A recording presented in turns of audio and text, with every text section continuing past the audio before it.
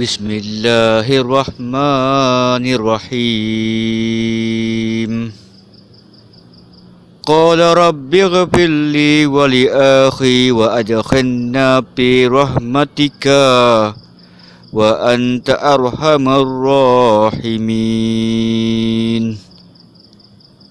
Nabi Musa berdoa, Ya Tuhanku, ampunilah aku dan saudaraku dan masukkanlah kami ke dalam rahmat engkau dan engkau adalah maha penyayang di antara para penyayang.